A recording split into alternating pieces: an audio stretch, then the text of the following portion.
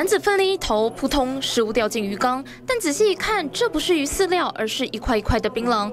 男子将槟榔丢给鱼吃后，还在鱼缸前悠哉地走来走去，和友人有说有笑，观察鱼群有没有吃。言谈过程中，甚至没有戴口罩，行为举止非常夸张。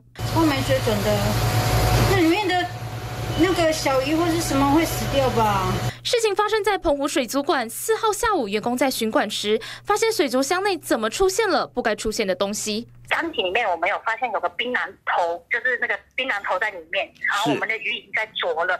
那我们当下就是立马把那个槟榔头赶快先捞出来，因为怕我们的鱼会误食饲养员赶紧去调阅监视器，发现这名无照男子往布氏长生鱼缸丢东西。现在我们在那个大池表演结束之后，其实有就是有跟游客。宣导说啊，我们馆内其实是禁止吃槟榔。其实这样没公德心的行为已经不是第一次发生，之前也有民众往鱼缸内丢槟榔渣或喂食面包。官方呼吁民众，水族馆内除了不能饮食，也不能随意喂食鱼群。如果再有严重行为，将会依循法律途径报警处理。记者严玉龙、叶玉娜澎湖报道。